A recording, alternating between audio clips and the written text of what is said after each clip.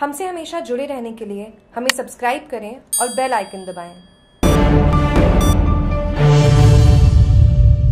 Sojat road में अखंड रामायण पाठ लगातार दूसरे दिन भी जारी सोजत रोड, सुंदरकांड मंडल के तत्वावधान में कस्बे के आड़ेश्वर भवन में 36 घंटे के श्री रामचरित मानस संगीतमय अखंड रामायण पाठ दिन रात लगातार जारी भक्तों में भारी उत्साह पाठ में पाली, मारवाड़ जंक्शन, ब्यावर, अजमेर, फुलेरा, जयपुर, बांदीकुई आदि जगहों के सुंदरकांड मंडल व श्रद्धालु उत्साह के साथ पाठ करते हुए नज़र आ रहे हैं।